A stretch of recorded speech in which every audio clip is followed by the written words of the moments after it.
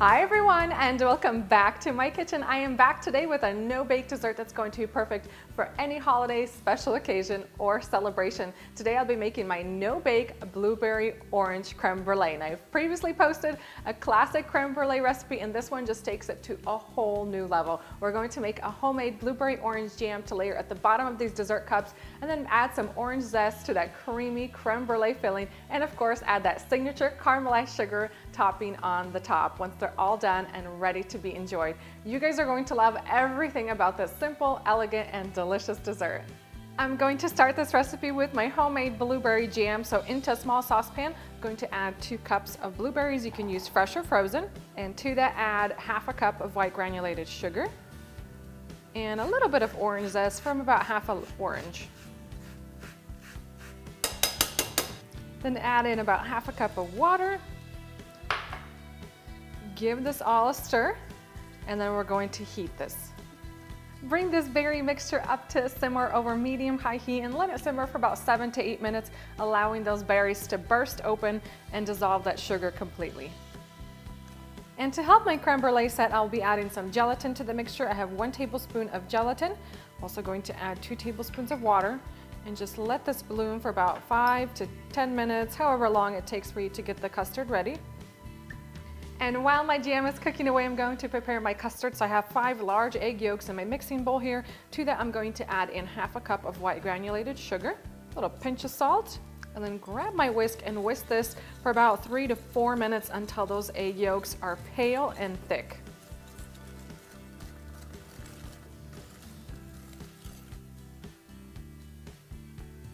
I'm going to set aside this egg yolk and sugar mixture and move on to my milk and cream. So into a large saucepan, I'm going to add in two cups of whole milk. Pour that in. One cup of heavy cream. And to help thicken the custard mixture, I'm going to add one tablespoon of cornstarch. And I'm going to heat this mixture over medium-high heat for about three to four minutes. I want that milk to be steaming hot, but not boiling. I'm then going to temper my hot milk into the egg yolk mixture. Just add a little bit at a time and then get give it a good vigorous whisk after each addition.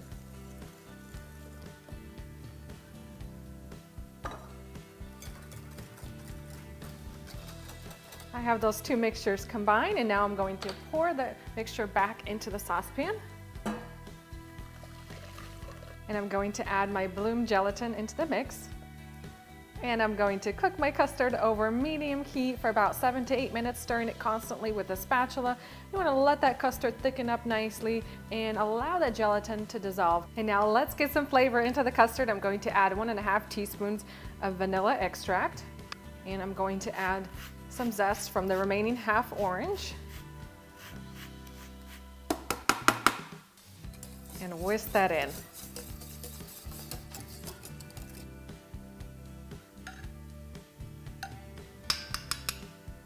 And now to assemble this dessert, I'm going to add a few spoonfuls of that blueberry orange jam into the bottom of my little custard cups. And then gently pour that custard mixture over the top.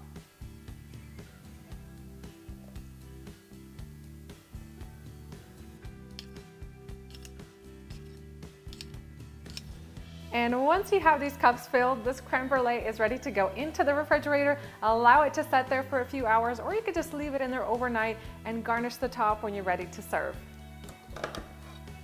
And once that custard is nicely set in the refrigerator, go ahead and take it out. And we're gonna sprinkle a light layer of sugar over the top.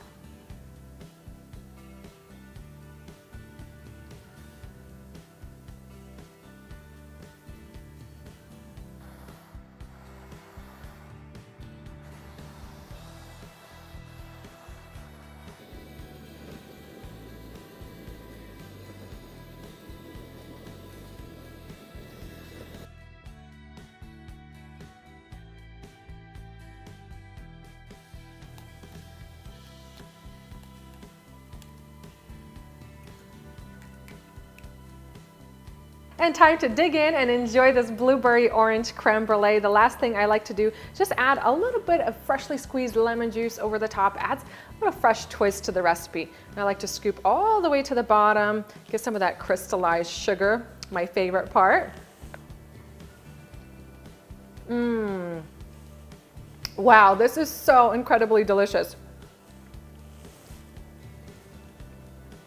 Now I've had a lot of creme brulee in my life and this is by far one of my all-time favorites. You guys are going to love the flavor combination. You have that fruity berry jam from the bottom with the blueberries in there. You have this like light orange zest flavor throughout and that cream is so smooth and delicious. Add that little crystallized sugar on top, a little bit of that lemon juice and this is just incredible. You guys are going to be blown away by the flavor combination. If you're looking for a new twist on the classic creme brulee recipe, you've got to give this one a try. Just head down into my video description box. I've left a link there that'll take you over to my blog where you can find the full recipe, print it off for yourself, and of course share it with all your family and friends. Hope you guys enjoyed this video recipe, and I'll see you next time.